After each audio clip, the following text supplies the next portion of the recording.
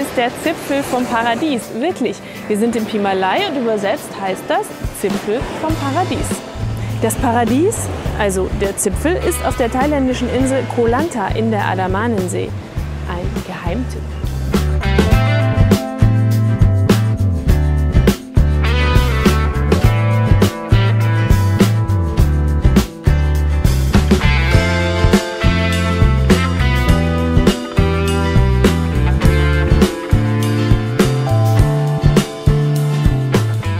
Gibt zwar Schlangen hier im Paradies, aber die sind sehr friedlich und ein Apfel wurde uns auch noch nicht angeboten. Dafür aber thailändisches und europäisches Bioessen. Und es gibt viele verschiedene wildlebende Tiere und Pflanzen hier, so wie sich das für ein Paradies gehört. Das Pimalai ist ein Luxusressort, aber mit ökologischer Philosophie. Wenn wir die Natur gut behandeln, dann wird sie auch uns gut behandeln.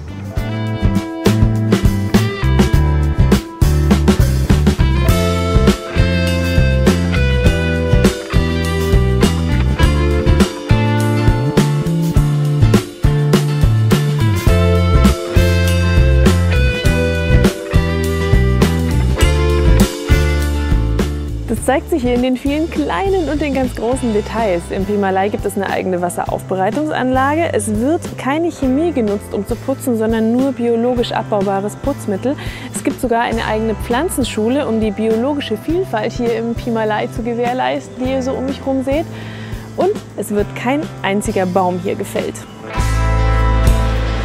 Und einen biologisch verträglichen Pier gibt es auch. Der ist für die ankommenden Boote gedacht, aber er ist so gebaut, dass er nicht in den Kreislauf der Natur eingreift. Auch wenn er so ein bisschen aussieht wie ein Lego-Spiel für Erwachsene. Jetzt suchen wir Nemo.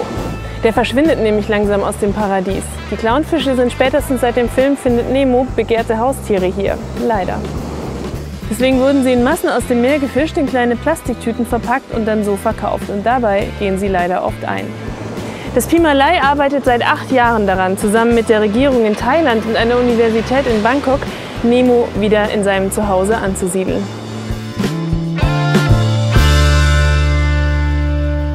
Krabi, das Städtchen auf dem Festland vor Koh Lanta, hat eine Fischaufzuchtstation. Sie wird von der thailändischen Regierung unterstützt. Neben Seesternen und verschiedenen einheimischen Fischarten gibt es hier tausende von kleinen Nemos.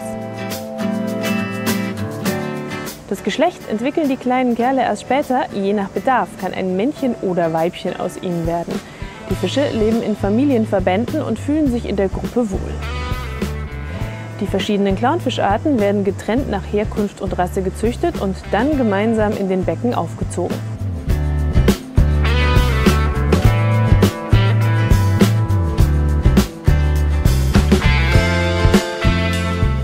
Zwischendurch werden sie nach Größe sortiert. Da sie in den Becken zusammenleben, sollten sie ungefähr die gleiche Größe haben, damit nicht die Regel vom Recht des Stärkeren greift.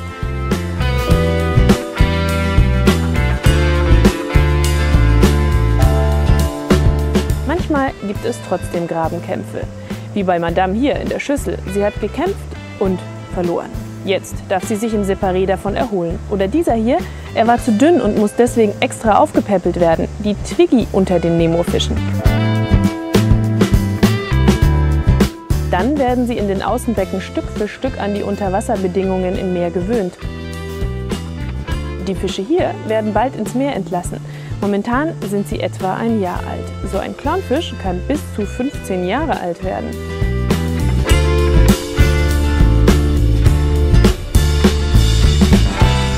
Jedes Jahr werden 200 der kleinen Kerle auf der unbewohnten Insel Koh Ha in die Freiheit entlassen.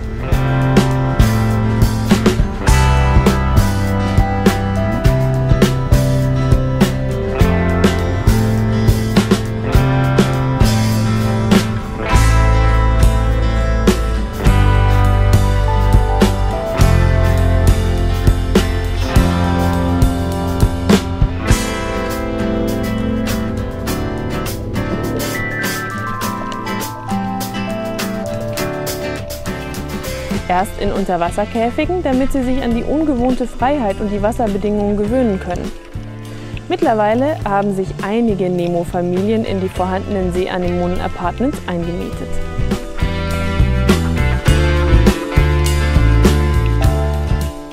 Sind sie nicht süß? Happy Nemo. Schön, dass die kleinen Kerle wieder auf die Insel zurückkehren. Der ganzen Insel soll so eine Art Asyl für gefährdete Fischarten in Thailand werden. Das Hotel will die Menschen so daran erinnern, dass es absolut leicht ist, in den Kreislauf der Natur einzugreifen, aber so viel schwerer, ihn wiederherzustellen. Ich könnte jetzt noch stundenlang aufzählen, wo sich das Pimalei überall engagiert. Die Liste ist lang. Ich könnte zum Beispiel von den örtlichen Schulen und Kindergärten erzählen. Oder dem örtlichen Krankenhaus. Oder der Biofarm, die extra gegründet wurde, um den Gästen hier selbst angebautes Biogemüse anbieten zu können.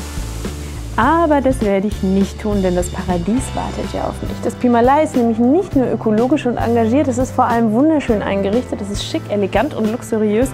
Die Mitarbeiter hier sind alle so warmherzig und gastfreundlich. Und wir würden bitte, bitte, bitte gerne einziehen in diese Villa mit Privatpool.